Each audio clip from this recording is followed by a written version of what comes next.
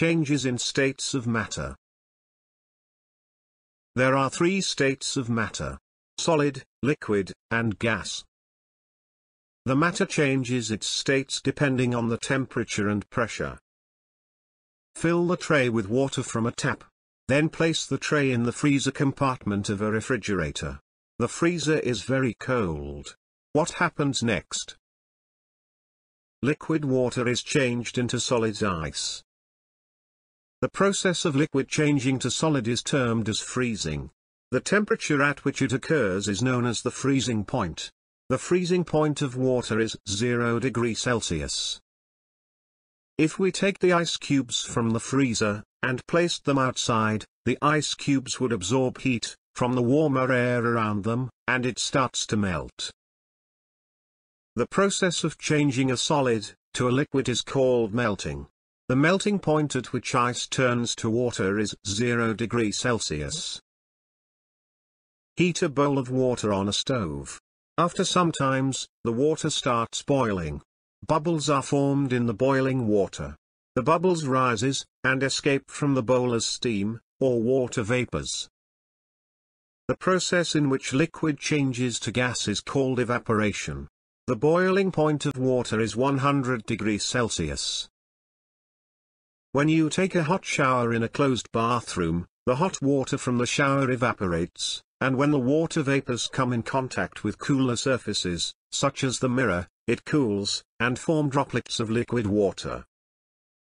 In the same way, the water vapors from the hot sea, or rivers, moves up the sky, and cools down to form clouds. This process in which a gas changes to liquid is known as condensation. Dry ice change into gas directly, without changing to liquid. Snow can also change into gas directly in the winter months, without melting.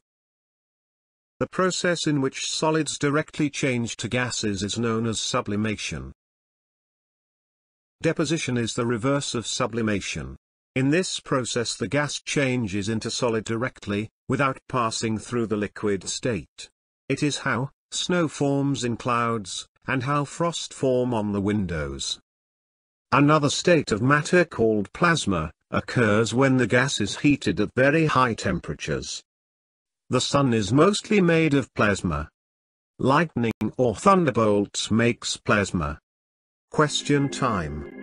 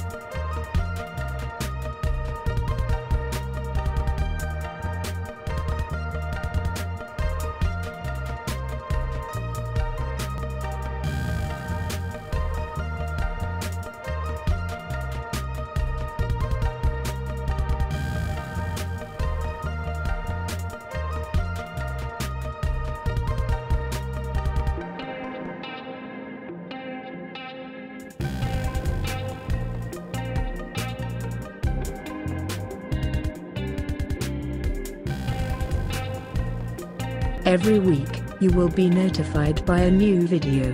So, don't forget to subscribe, and click the notification bell. Thank you for watching Make It Easy Education.